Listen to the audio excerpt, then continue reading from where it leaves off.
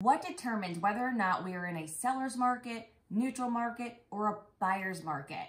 Well, our inventory levels of houses for sale determine a lot of that impact on our market. So if it's a seller's market, it's when we have less than six months of inventory left, which means if not one more house came for sale in the market, yeah, all of our houses would be sold in six months, gone or less.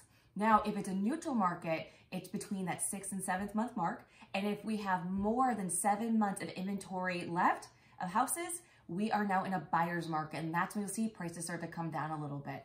I hope this answers that question for you. If you have any others, my name is Nicole Black with the Lux Real Estate Group and I always will love to help you. Remember, a decision will always move you closer to where you want to go. Let's make it the best one.